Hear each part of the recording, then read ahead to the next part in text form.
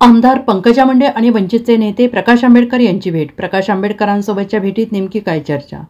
भाजपच्या विधान परिषदेच्या आमदार पंकजा मुंडे आणि वंचितचे नेते प्रकाश आंबेडकर यांची भेट झाली. लातूर बीड रस्त्यावर या दोन नेत्यांची भेट झाली. यावेळी पंकजा मुंडे यांनी आंबेडकरांच्या आरक्षण बचाव यात्रेला शुभेच्छा दिल्या. याबाबतचे फोटो पंकजा मुंडे यांनी शेअर केलेत या भेटीत नेमकी कोणत्या मुद्द्यांवर चर्चा झाली याची माहिती पंकजा मुंडे यांनी दिली आहे. भाजपच्या बैठकीतील मुद्द्यांवर पंकजा मुंडे यांनी भाष्य केलं. लाडकी बहीण योजनेवर विरोधकांकडून होणाऱ्या टीकेला पंकजा मुंडेंनी उत्तर दिले लातूरमध्ये पंकजा मुंडे माध्यमांशी बोलत होत्या. आमची भेट अत्यंत योगायोगाने झाली. मी लातूरकडे येत होते आणि ते कदाचित बीडकडे जात होते. त्यांना पाहिल्यानंतर मी त्यांना भेटून शुभेच्छा दिल्या. त्यांची यात्रा सुरू आहे.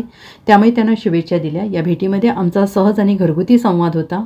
असंही पंकजा मुंडे यांनी म्हटलेलं आहे. राजकारणामध्ये वंचितांना ज्यांचा कोणीच आवाज ऐकू शकत नाही त्यांना शक्ती देण्यासाठी गोपीनाथ मुंडे साहेब राजकारणात आले होते. मुंडे साहेबांनी अशा लोकांना समाजाला संधी दिली ते काम आम्ही पुढे करत राहू असंही पंकजा मुंडे यांनी यावेळी म्हटलेलं आहे.